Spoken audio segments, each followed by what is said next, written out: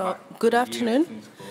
My name is Samantha Sanangurai. I'm with Leonard Cheshire in Southern Africa, where I am the regional representative. And um, we're just waiting. Okay, I think everybody's settling. Our topic is improving the response of the criminal justice system to people with disabilities. And today I'm flanked by my colleagues, Andrew Mackenzie, Ariel Simms, um, Peter McCabe, and Carlos Rios Espinosa. And they work for International Bar Association, the National Center for Criminal Justice and Disability, Headway, the Brain Injury Association, and Human Rights Watch, respectively. I, I do not come here today having, um, I mean, doing some work already in, in this area with Leonard Cheshire, but I do have interest in the work because I've, I've previously worked with children um, with disabilities who are accessing the justice system in Zimbabwe and I've also recently done some, some work around that.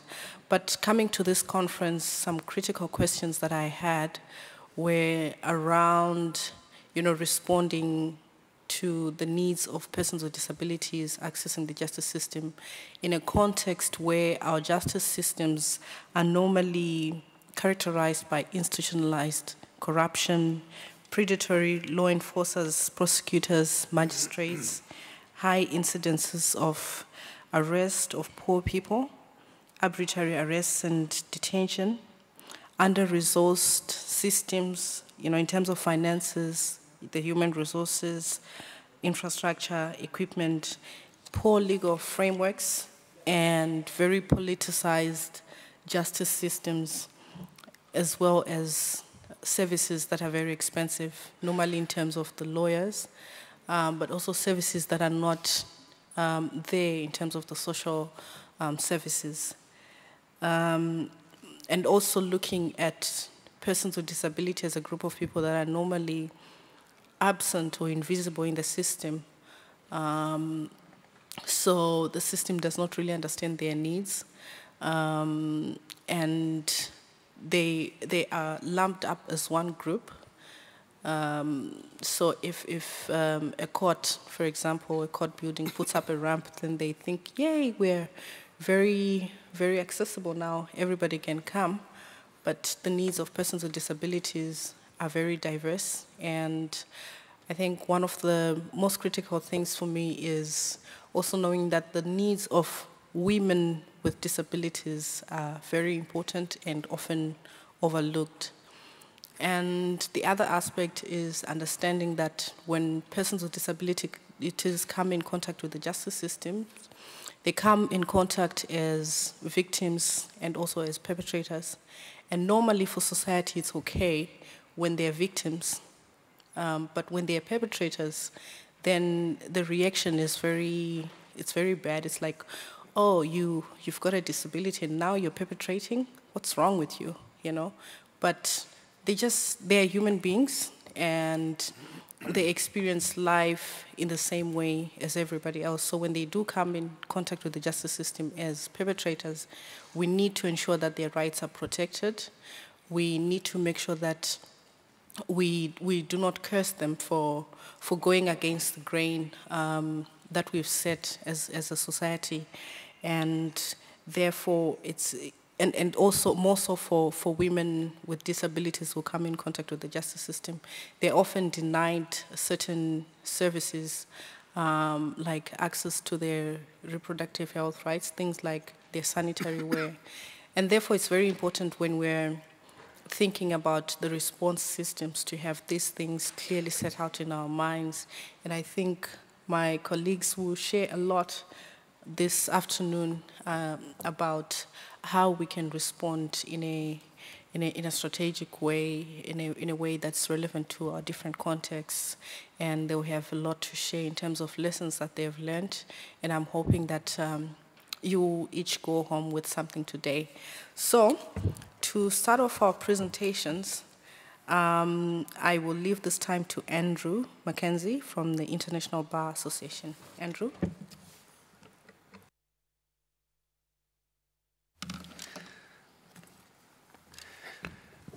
Thanks very much. Uh, yes, I'm Andrew Mackenzie. I'm Chief Executive of the Scottish Arbitration Centre, uh, but I'm here today representing the International Bar Association.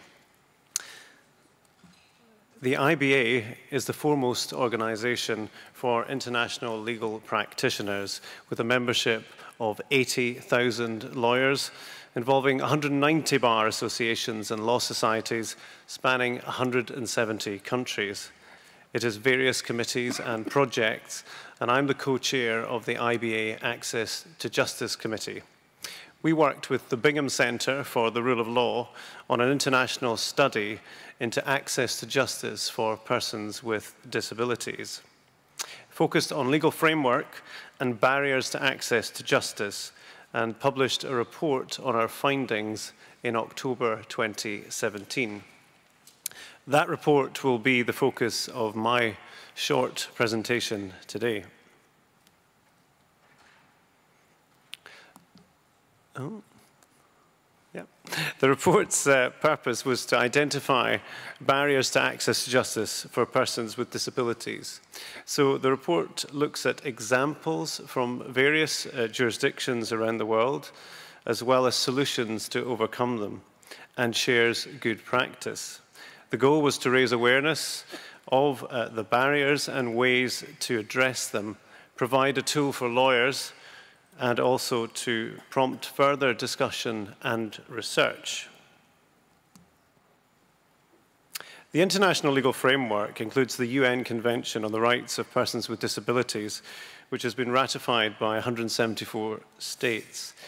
It notes, crucially, that states must ensure effective access to justice for persons with disabilities on an equal basis with others.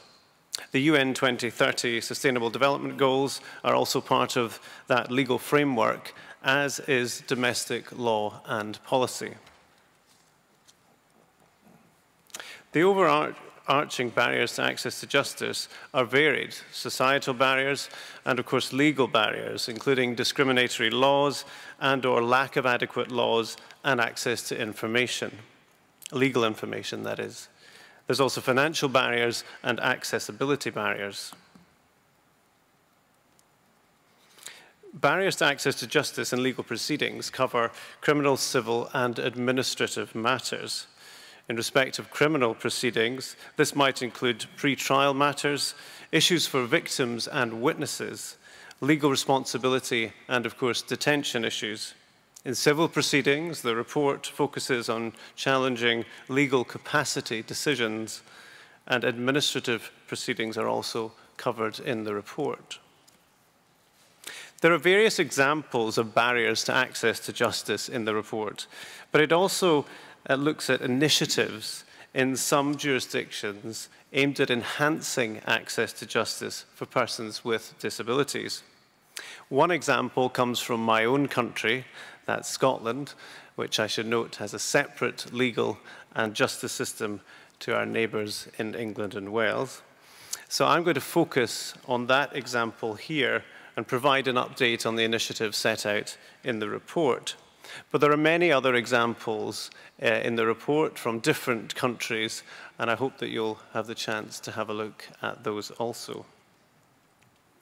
The Scottish Courts and Tribunal Service states that jurors play a pivotal role in Scotland's criminal justice system.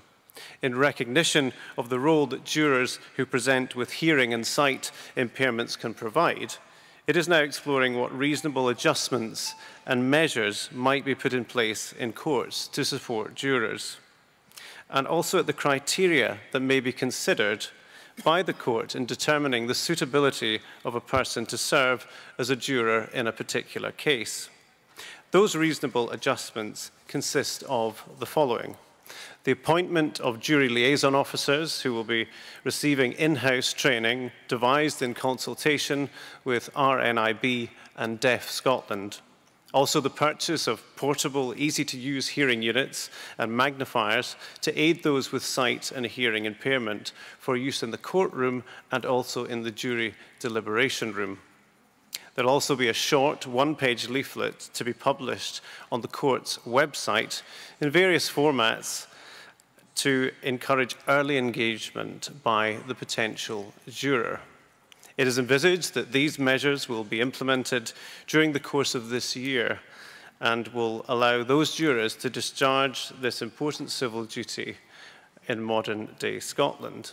So this is one example of how a, a, jurisdiction is trying to ensure full involvement in the justice system for persons with disabilities. As I said, there are other examples of good practice in the report looking at a variety of different countries. So what about the findings? Amongst the main findings of the report were that crime against people with disabilities appears to be significantly underreported. It was also found that litigation can effectively help overturn discriminatory laws by intervening at an early stage, but can only have a wider impact on discriminatory laws and practices where these can be evidenced. That requires data Yet, data gathered by many countries does still not include a breakdown in relation to people with disabilities. The report also found that in many countries where people with mental disabilities are deemed unfit to stand trial, they are still deprived of their liberty through enforced hospitalization, and this is often in conflict with human rights law. The treatment of and communication with people with disabilities during judicial proceedings are usually under voluntary guidelines, with these applied at best in an ad hoc fashion. Also importantly, it was found that new technologies and the development of online dispute resolution can help people with disabilities overcome marginalization in the justice system. Governments and the legal com community should be open to the benefits that these technologies provide. And we've heard lots this week about how technology is assisting people with disabilities. On recommendations of the report, so better uh, reporting of crimes against people with disabilities, uh, more data on discrimination in relation to such people is needed. There's a need also to ensure that laws that may have a negative impact against such people do not enter the statute book at all. And also lawyers involved in advocacy should challenge such laws. Further research and investigation is needed in order to resolve the conflicts between denial or restriction of legal capacity and human rights. Voluntary guidelines on treatment of and communication with people with disabilities during judicial proceeding needs to be strengthened into codes of practice to ensure consistency and structure and to make them binding. And there should be more support for online dispute resolution platforms. It is clear that more needs to be done to break down some of the additional barriers to access to justice often faced by those with disabilities. And we hope that the IBA report will raise awareness of these issues. Clearly, being invited by the Zero Project to speak to the report at this prestigious conference assists with that goal and provides the legal profession with a key role in discussions in respect of access to justice in this area. Ultimately, we hope our work will lead to enhanced access to justice for some of the more vulnerable in society. So what are the next steps? Well, further distribution of the report, and that's something you can help with by reading the report and, and sharing it individually or in your organizations raises awareness of some of the findings within this work. Further research in aspects of the report. And again, if any of you, either individually or your, your associations, uh, are interested in being part of further research, there's a lot more work required. Finally, guidelines for courts and tribunals is what we plan to do next. And again, we'd be keen to collaborate with any of you on that work. So here is my uh, email address, but also a link to the report. It's on the International Bar Association website. It's on the page for the IBA Access to Justice and Legal Aid Committee. Please do have a look at the report and please do share it as widely as possible. Thank you very much.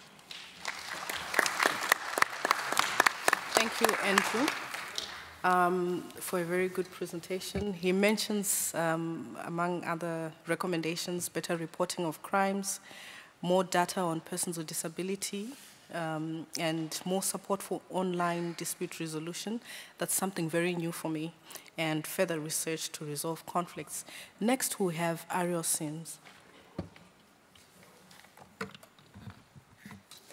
Good afternoon, and thank you so much for being here. I realize it is the last parallel session of the day of the conference and on a Friday. So I want to just say thank you on behalf of myself and the other panelists for, for sticking around for this. We really appreciate it.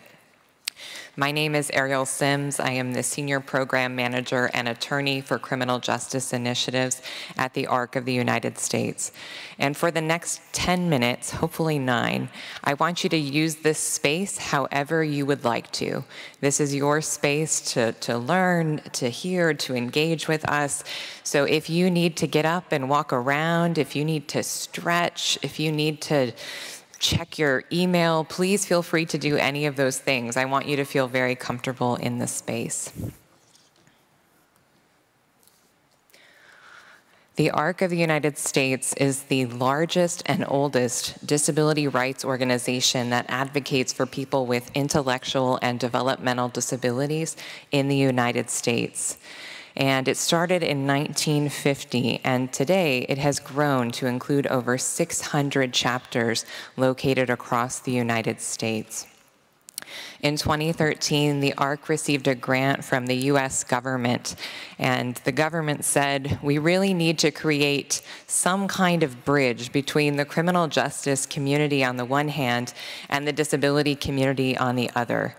Because as we know, these two communities don't often understand each other and they often don't get along and sometimes they don't even use the same language to communicate. And as a result, we know that people with disabilities are more likely to be represented as victims of crimes, but also as suspects, defendants, and incarcerated people. So we created the ARC's National Center on Criminal Justice and Disability to answer this mandate from the federal government. And we do this in a few different ways. So we provide training and technical assistance to criminal justice professionals.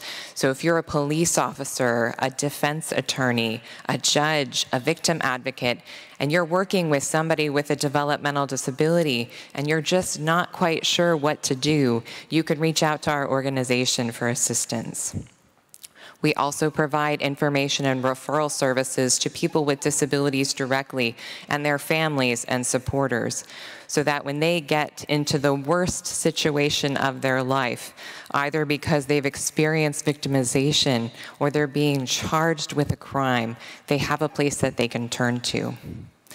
We also create resources for the field at that intersection of criminal justice and disability and when we discover that there isn't a resource that should be out there, we try to create it ourselves.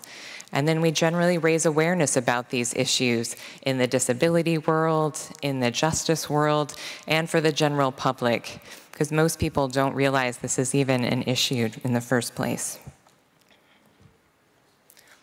But what I really want to talk to you about is Pathways to Justice, which is one of the project awardees this year, and we're so excited about that. And thank you again to the Essl Foundation for that. We really appreciate your support. Now on the screen in front of you, there are three large orange arrows and they're divided up into steps and I'm gonna go through each one. And then at the bottom of this slide, there's a photo of a group of people all standing together. And this is one of our disability response teams. So, Pathways to Justice, at its heart, at its essence, is a way to increase access to justice for people with intellectual and developmental disabilities. And we do this through a three step process. In step one, we facilitate the creation of a disability response team, which brings together criminal justice stakeholders and disability stakeholders, and we get them around the same table talking to each other about what is going on in their community and what are the barriers to justice for people with disabilities. Once that disability response team is created, in step two, we partner with the disability response team to deliver an all-day training for law enforcement, for legal professionals, and for victim advocates. And we teach these professionals how to more effectively recognize disability, how to more effectively communicate with people with intellectual and developmental disabilities and how, most importantly, to more appropriately serve, interact, and support people with intellectual and developmental disabilities as they move through the criminal justice process. And again, it doesn't matter if they are a victim or they are a suspect, a defendant, incarcerated person, Pathways is for them all. In step three, we provide ongoing technical assistance to the disability response teams to ensure that they feel empowered and they have the energy to keep going. This is really difficult work to do, and they're often doing it above and beyond their regular jobs. So we want to be there as a source of support and guidance for them. Pathways is community-based, it's multidisciplinary, and it's all about relationships. But most importantly, we want to adhere to the mantra of the human rights world when it comes to disability, and that is nothing about us without us. So people with disabilities are an integral part of the disability response team, and they are lead trainers alongside others when we teach criminal justice professionals about these issues. To date, we've created 15 disability response teams in 12 states across the United States. And there's a map behind me on the slides, and the slides, are, excuse me, the states in orange are where we have created at least one disability response team. There's also an image of a young man with developmental disabilities smiling because we also know at the end of the day, it's about people with disabilities and we've trained over 1,200 justice professionals since 2015 and reached over 5,000 stakeholders. Right now, Pathways to Justice is funded primarily through federal grants, even though we're exploring licensing and the use of a train the trainer model. And we still have some challenges. It's hard to get funding in this area. As Sam, our moderator, was saying earlier, sometimes people want to put money into to victims' issues, but they don't want to necessarily talk about the other side of the system. People are being charged with crimes.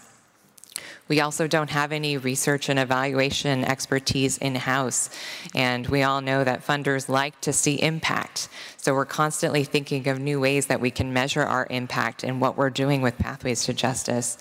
And I think one of our biggest challenges are local partners. We ask a lot of our local partners. It's a very intensive process to get involved in this team to help us organize and set up these trainings and participate and to keep things going after we have left the community. But we so rely on our local partners and we just thank them immensely for their efforts. So as far as next steps for Pathways to Justice, in 2019, we're looking to go to 10 additional sites all across the United States, and we're going to be doing that through a couple of different projects. One is called the Serving Safely Initiative, which is also funded by the United States government, and it creates a national training and technical assistance center for law enforcement and prosecutors specifically. The other initiative, which is very exciting, uh, we're partnering with an organization called Grow Through Opportunity, which does internships for youth with intellectual and developmental disabilities with first responder agencies.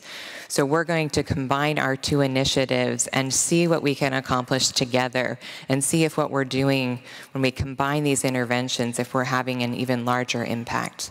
And we're going to continue refining our Train the Trainer version of Pathways to Justice, extending our capacity to do this work. So I just wanted to show you a picture of our team. We are small but mighty. We are also extremely good looking, so enjoy. Enjoy that. And uh, please, we look forward to working with you. Please reach out to us. We can't wait to tell you more about Pathways to Justice. I'm also here with my colleague, Leigh Ann Davis, who's here in the front. Wave, Leigh Ann. So please come up to us afterwards if you have questions. We also have some lovely brochures, courtesy of our marketing department, to share with you. Thank you so much.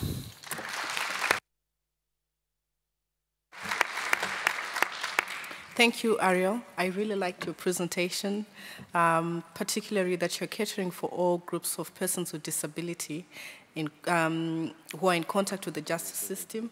I also liked that the work is community-based because I think that's a first step in ensuring that the justice system is demystified. Most people get to know about the institutions when they get in contact with the system.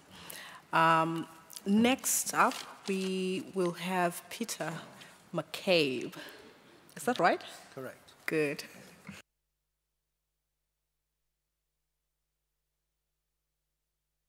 Um, sorry.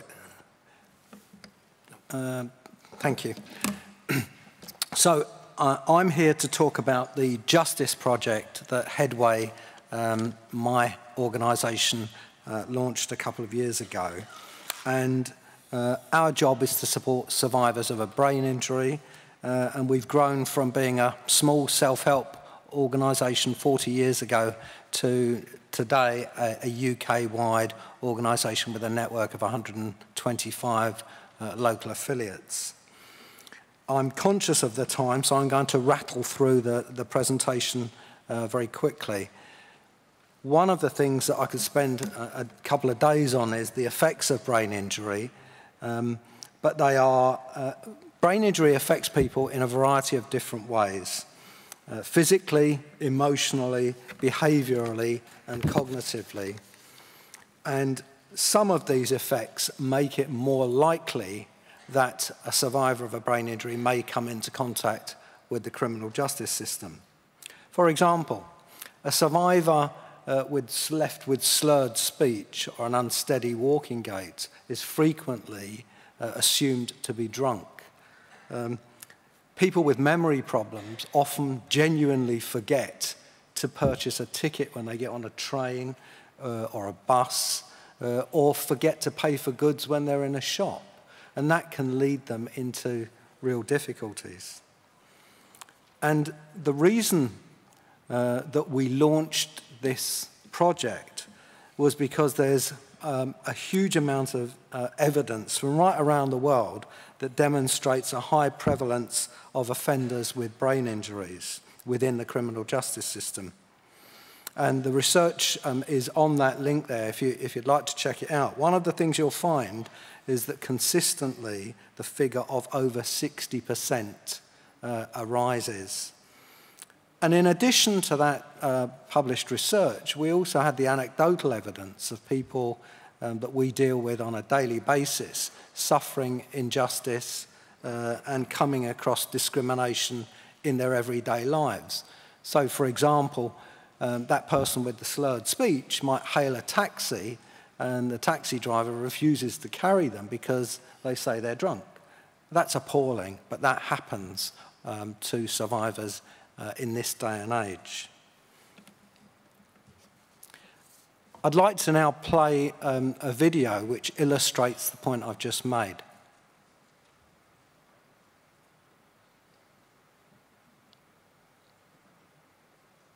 With no sound? Could we try it with sound? That would be good. They're still Going out drinking quite Never any problem, just having a good time and everything was fine. Then when I was 21, I went to Cyprus on a work placement from university. I fell off a moped without a helmet on, so falling on the floor put me in a coma for over three months. Doctors saying I'd never walk or talk again. A lot of them saying the not talking bit might have been quite good, but... And so from then, I was flown back to England I had a year or so of rehab, got back to going out with my friends again and thinking, well, everything's fine. Um, and I wasn't drinking half as much as I do because I wasn't able. But that's when all the problems started. However much I drunk, it was it seemed to be a problem to a lot of people. Well, I've basically been arrested three times. Each time, it was a kind of I was a, another drunk, throwing me to the floor, handcuffing me into the Mariahs, into the police station. No real interview or anything, just give me a name, put me in a cell, shut the door, there you go. Yeah, it was really horrible because I've never done anything wrong in my life and to be treated like a common criminal maybe, just thrown into the cells and in the cold and freezing cold cells and dirty and smelly and just made me feel really bad and really what really what has my brain injury caused? If this is going to be the, what's going to happen to me every time I go out and drink, that's why I've stopped drinking because it's just not worth it. So, the objectives of the...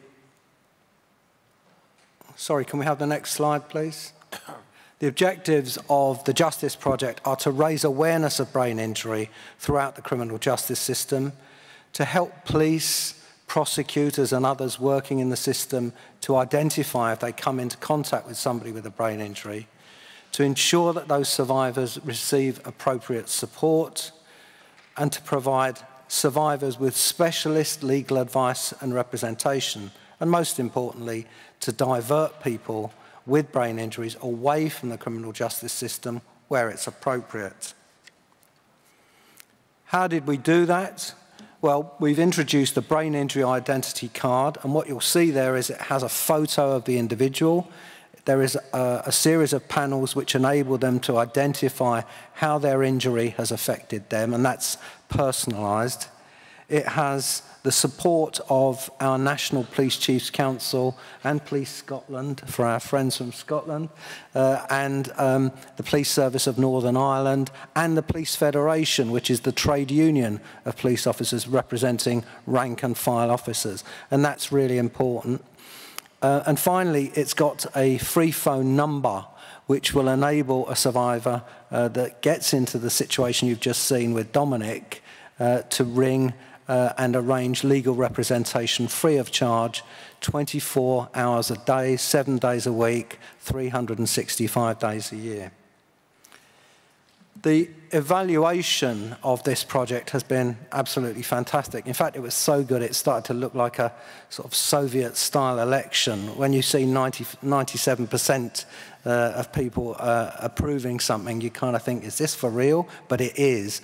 And um, what they've told us is that it's, it's, it's something that they use, uh, they value, they appreciate, uh, and interestingly, 72% of uh, card holders have used their cards in a social setting. Um, so that could be in a shop, a bank, um, uh, or with the taxi driver that refuses to take them we have partnered up with some really important organisations. I've mentioned the police, the prosecutors, um, and the appropriate adult network and NHS England, which provides nurses working in police stations uh, and in courts. Looking to the finance, we, like others, found it difficult uh, to fund this type of project but we think it's really important. So we put our own resources into it, and that's the true demonstration of how important we think it is. We've had to recruit additional staff to cope with the demand. We've now issued 5,000 cards, and what we know is that the, the project is making a huge difference to survivors of a brain injury. Professionals working in the criminal justice system have welcomed this initiative. They recognise how important it is for them to have this understanding. And we are training uh, police officers, prosecutors, and all the people that you would expect. And in the last week, we've actually had representations from our Ministry of Justice asking us if we'll go and work in prisons to ensure that prison staff are aware of brain injury and its effects and we're going to continue to raise awareness of the project, uh, to provide appropriate support, and as far as we can, divert survivors away from the criminal justice system. I've run out of time, but I'd be happy to answer your questions. And if anyone's interested in replicating um, this project in, in your country, we'd be happy to help. Thank you.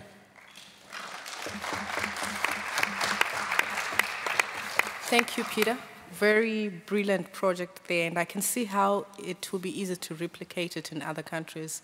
It just reminded me of a time in Zimbabwe when one of our most celebrated TV presenters was arrested um, because he had forgotten to pay at the, at the till. And, you know, everybody wondered why. But I see now if he had such a card, the arrest would have been avoided. Um, next up, we have Carlos. Thank you very much, Samantha. Thank you to the panel. Thank you for, to the Zero Project for uh, letting me present today what I'm going to say. And thank you all for, for listening. Well, my name is Carlos Rios Espinosa. I come from Mexico. And um, I've been engaged in criminal reform in Mexico for uh, some years now. Uh, I think this doesn't work. Oh, how, I need to put it there. Um, uh, this is a project that I was involved in before joining Human Rights Watch. Now I'm a senior researcher at Human Rights Watch. But this started uh, many years, and many years ago, 2004 or so. Uh, and it has to do with the criminal procedure reform in Mexico that um, we've had um, since 2008 a new criminal procedure, no, because the one we had previously was a very old and outdated uh, uh, system in which everything was done in writing. Proceedings were just mm, uh, not really handed over by a judge, no, but by paralegals, no, or auxiliaries to justice that received everything, no, and then the judge simply just review a written dossier and then decided on the fate of people based on what was written in the dossier. So in 2008, we had a, a, reform, a constitutional reform, that established the need to have hearings, the need to have procedural safeguards for everyone, for all defendants, and the possibility of having public hearings no? Uh, in order to evaluate evidence against defendants. So uh, what does that has to do with uh, disability rights? Well, in this same package of reform, um, we uh, were able, as I, I, as a part of a, of a network of uh, civil society organizations that were involved in the reform, that's called the Network for Oral Trials, to include some elements no, uh, about disability rights. Specifically, as you know, Mexico is a federation, so we have 32 states, and everyone had a different criminal procedure. No? Uh, but all of them were uh, really the same uh, as regards to people with disabilities. No? When you are a defendant and you have a disability and the judge considers that you're not able to face criminal procedure, no, then they, they, they label you or they declare that you are unimputable. That's a strange word, uh, an English strange, uh, it's, it's, it has no translation, but it has the effect uh, or the same effect, or, or, it is very near as being declared unable to stand trial. No? So if you're considered unfit to stand trial because you have a disability, then and what the judge did was just create a special procedure that's what, that was the, the, the main thing that, that happened.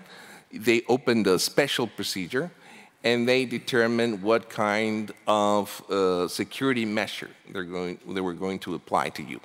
So uh, this is the narrative that considers that, well, people with disabilities cannot be punished, no, because, um, well, they cannot understand uh, what, what, what punishment is, no, or what responsibility is.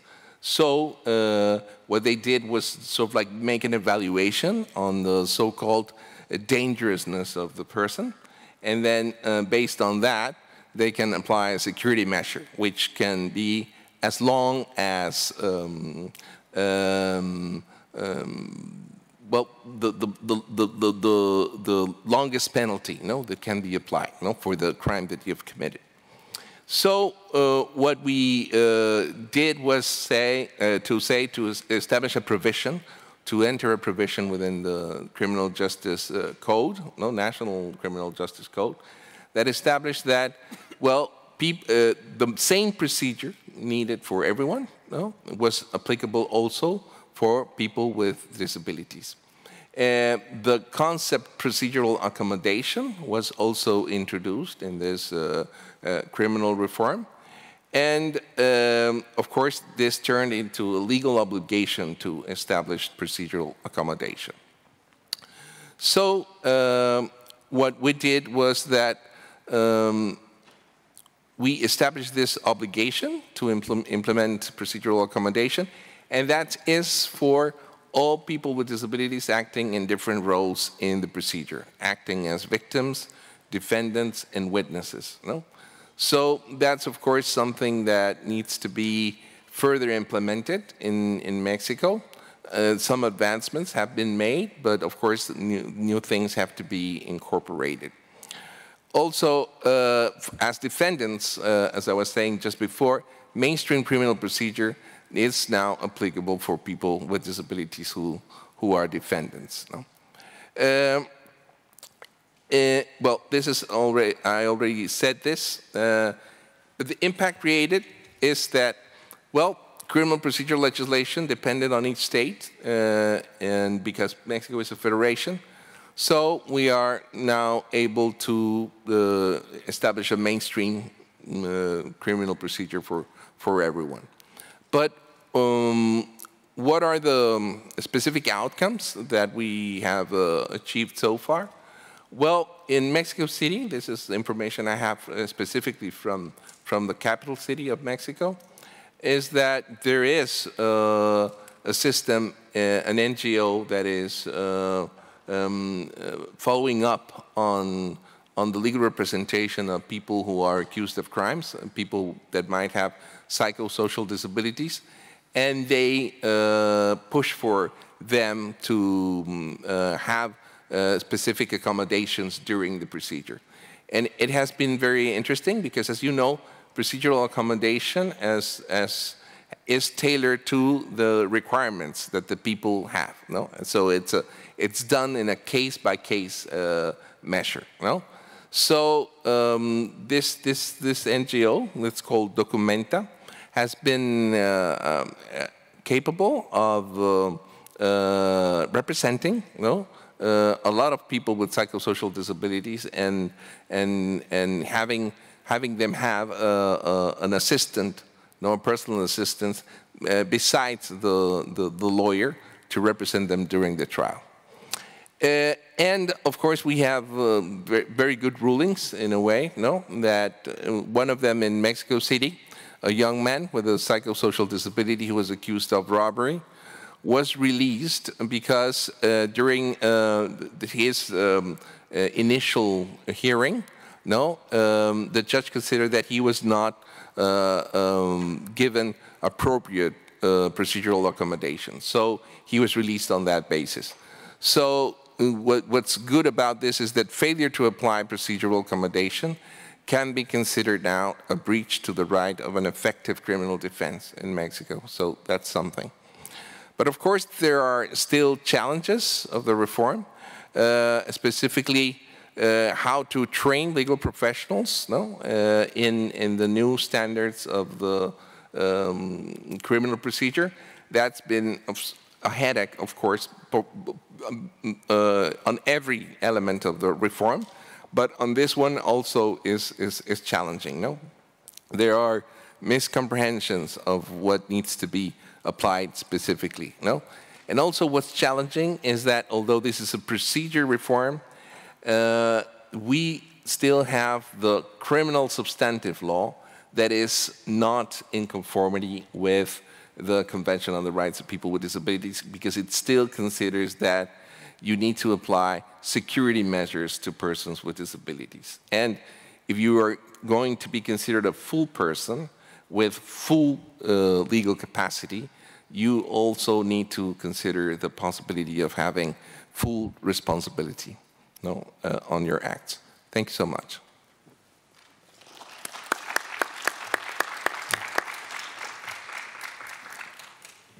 Thank you very much, Carlos. A very good presentation that you gave us there. Um, we need to apply case-by-case procedural accommodation for persons with disability. Very important. Um, before we started this session, my colleagues and I thought about doing a song um, which we called the Zero Conference Anthem because we suspected that most of you would have checked out by now but I think you're doing well, and you will have some challenging questions for us. We're really looking forward to that. So we'll open the floor for questions. Yay, there. Yes. Is there a mic? Yeah, um, my question is, uh, I have rem one remark and one question. One remark is to, I, I, like very much all the presentations, but I think uh, Carlos Rios has uh, raised a very important issue, and it is a very important debate, and it is, it, it's the debate of uh, criminal responsibility. I think that any provision that limits criminal responsibility of persons with disabilities is a violation of the CRPD.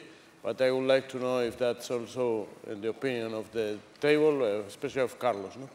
And then my second question is about, uh, in some, I think, uh, a very interesting, a very interesting proposal to uh, facilitate access to justice of persons with intellectual and development disabilities is uh, that the uh, court judgments be issued also in easy-to-read format. In Spain, there has been a pilot experience in this sense, but recently, the Peruvian reform of the Civil Procedure Code has, make has made compulsory that all uh, sentences, that all court judgments related to issues of legal capacity and supported decision-making uh, be also uh, published in easy-to-read format. So I would like to know if there is some, uh, maybe this question is about all for Ariel, because I would like to know if there is some experience in this sense also in your country. All right, thank you very much. Uh,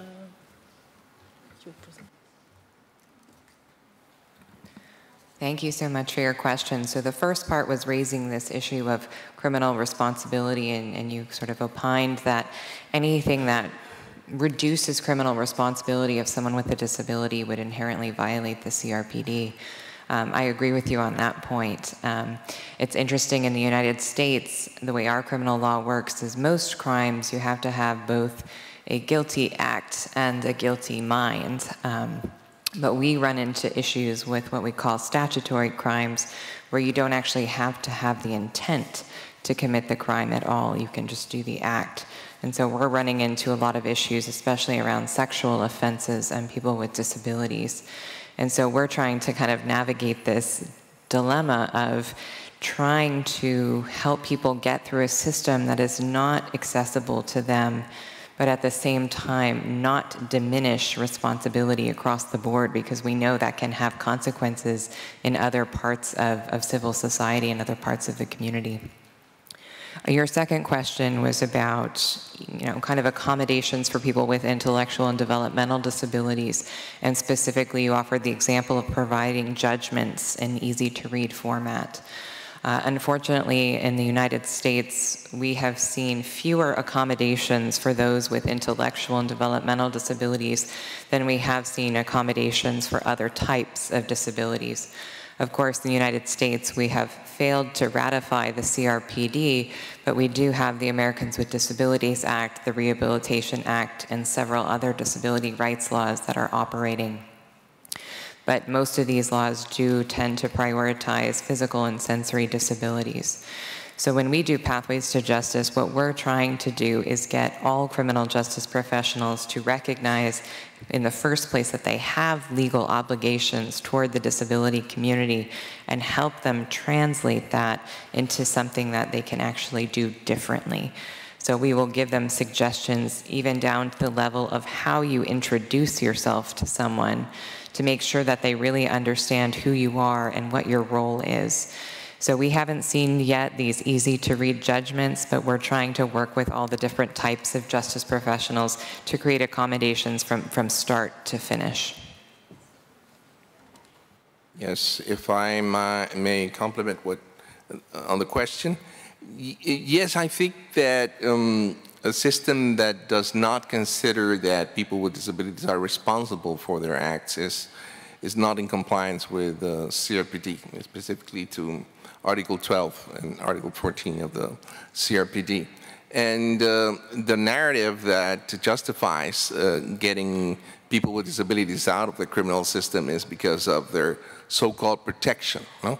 So you say if if people with disabilities to, to, to follow a criminal procedure and a, and a, and a criminal punishment, uh, a criminal sanction, then that will leave, leave the person under, uh, uh, un, uh, unprotected, no? But the issue is that criminal law was created to, to create protections, to create safeguards. And if you don't use criminal law for people with disabilities, then you have sort of like the, social uh, control, no, imagine uh, the, narrative, no, the, of dangerousness, no. What happens? I had the opportunity to visit Spain. You have also also the the this idea of the security measures for for people with disabilities, no, based on on dangerousness, and it's something that it's based on what the person is, no, and not on what the person has done, no.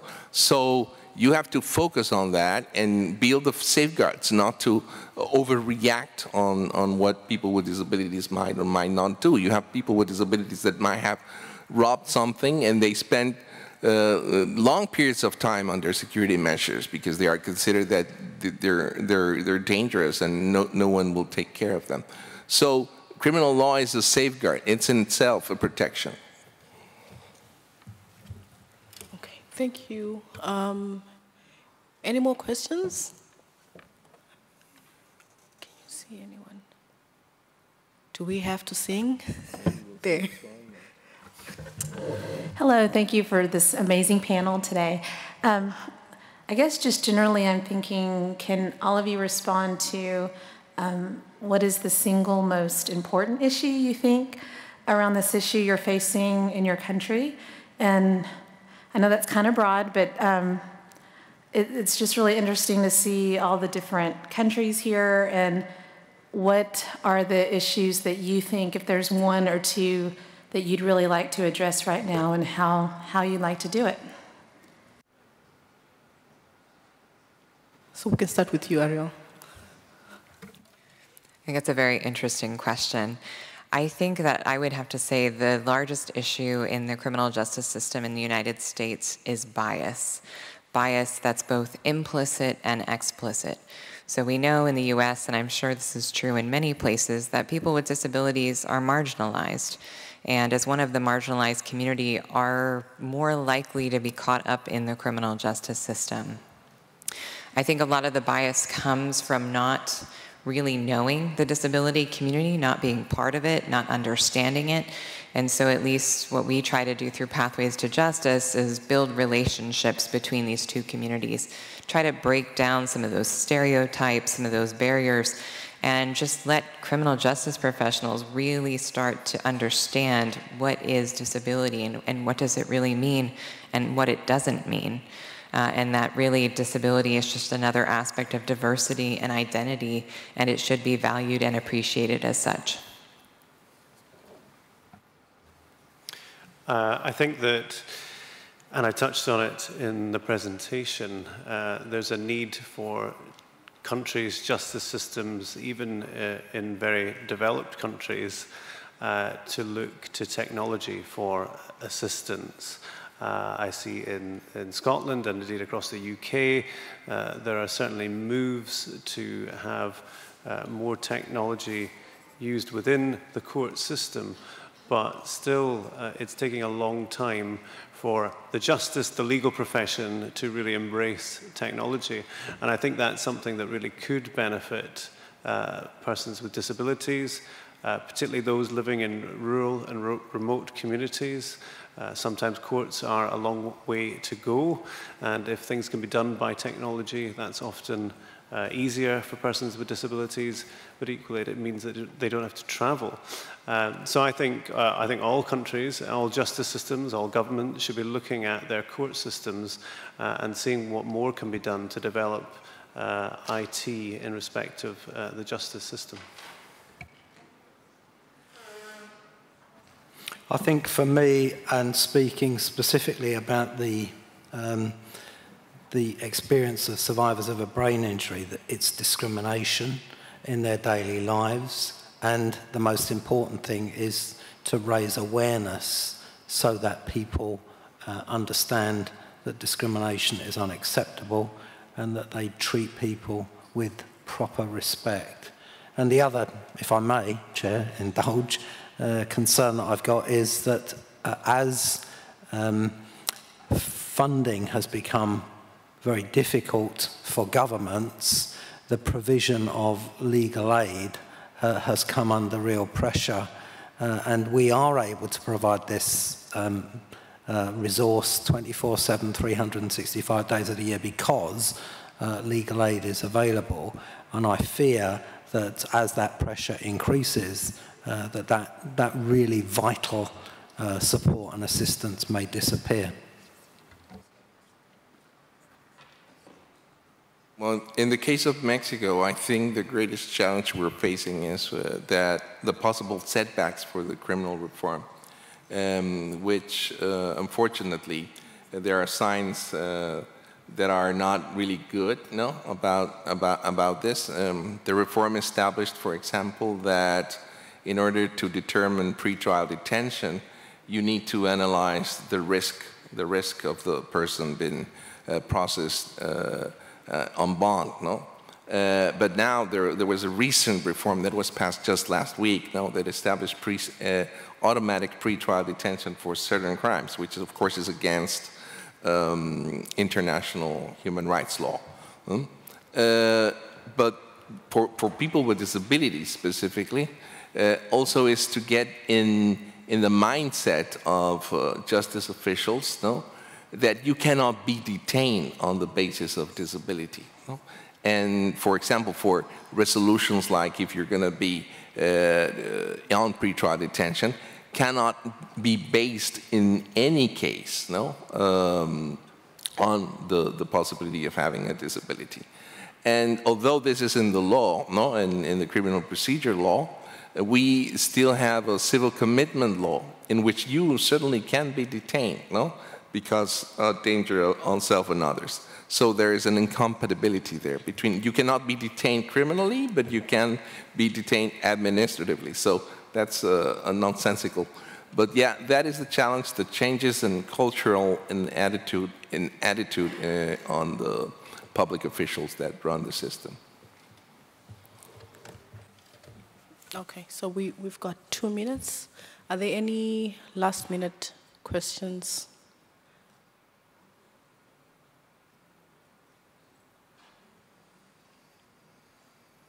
Oh, it looks like we have to do the song. but I, I, I, I could add um, to, to the response on, on, on things that could be done in our countries, and I'll speak for Zimbabwe, that I think that the single, single most important issue that we need to do in Zimbabwe is to review the policy and administrative framework. And by this I mean um, the framework should allow for better training of justice sector personnel, so that their attitudes and their knowledge on the rights of persons with disabilities increase, and also so that we chuck out of the justice system the charity model.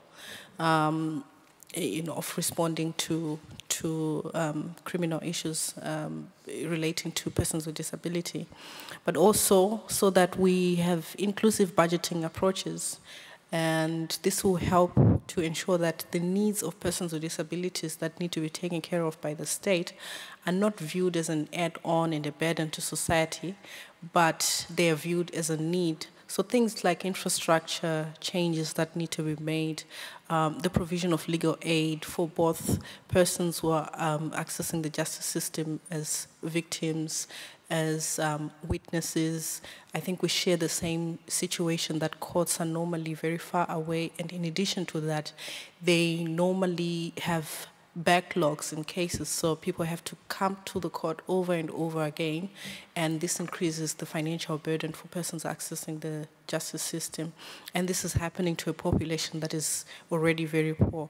And also we need to ensure that social services are available so that the departments of social services provide the required services for persons with disabilities accessing the justice system. And perhaps most, uh, one of the other things in Zimbabwe is depoliticization of the institutions um, because most people end up um, experiencing arbitrary arrests and detention because of the political situation. And recently, when we had some um, disturbances in our country, I remember reading a headline that a person um, with a mental health issue had been arbitrarily arrested. And this is very, you know, very sad because it happens um, when, when there are no systems to respond to their needs. Our time is up, and I would like to thank you for coming into this session and being very active listeners and participants, and for making sure that we don't do the song. Thank you very much, and have a safe journey back home, and I hope you have time to move around the city.